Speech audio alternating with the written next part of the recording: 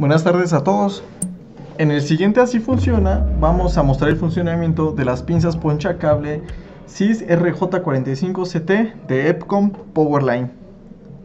Estas pinzas cuentan con tres ranuras para ponchar tres tipos distintos de, bueno, para realizar tres tipos distintos de ponchado. El primero, el del medio, el principal, es el de RJ45. De este lado tenemos el RJ12 y en este extremo el RJ11. Recordemos que el RJ11 es de 4 pines, RJ45 de 8 y RJ12 de 6. Entonces, estas pinzas tienen este apartado que es para el ponchado y tiene otras dos funciones este, adicionales que es una navaja para cortar el cable y una ranura para realizar el pelado de la misma. Esta es mi, mi, mi navaja para cortar. Y este surco que se aprecia aquí es donde yo introduzco mi cable UTP y corto. Retiro el forro y pues desprendo. Vamos a, vamos a demostrarlo. Tengo en este caso un cable este, categoría 6. Vamos a, vamos a cortarlo. Vamos a colocarlo, presionamos y corta. Ahora vamos a demostrar cómo retire el forro colocamos sobre el surco, damos vueltas al cable y jalamos. De este modo obtenemos el cable.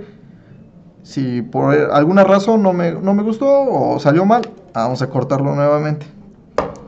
Una vez que hayamos nosotros retirado el forro y, y acomodado los cables, podemos cortar el excedente y alinearlo de igual modo con nuestra navaja.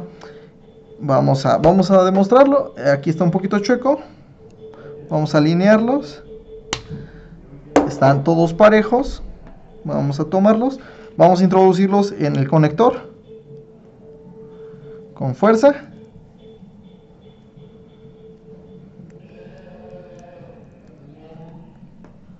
Una vez que corroboremos que se encuentran hasta arriba poncharemos. Ok. Corroboramos que estén hasta arriba. Introducimos sobre esta ranura la de medio viendo hacia arriba. Así aquí se va a asomar. Presionamos fuerte y se va a escuchar un clic. Cuando se, se emite ese, ese pequeño clic quiere decir que ya se ponchó de manera adecuada nuestro cable y ya tenemos un patch cord acorde a la medida que, requeramos con nuestras pinzas CIS RJ45CT de Epcom Powerline.